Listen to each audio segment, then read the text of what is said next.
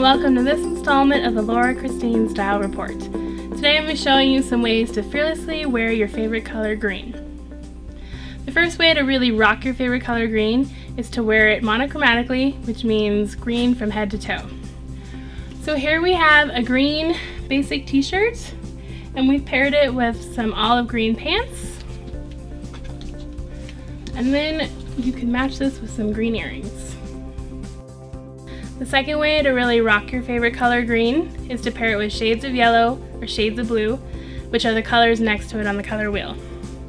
Here we've matched this yellow-green pair of pants with this pretty blue, green, and yellow pattern jacket. And then you can go ahead and pair it with some pretty blue and gold earrings. Third way to really rock your favorite color green is to pair it with this complementary color, red, which is the color opposite of the color wheel. Because you don't want to look like Christmas in like September, you want to avoid bright red. So here we've paired this pretty green, bright green top with more of a burgundy color pants.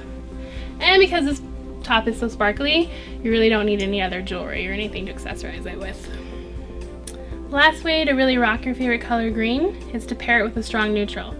in the case of green, brown is a really good choice. So here we have um, kind of a light seafoam green lace top with some chocolate brown pants.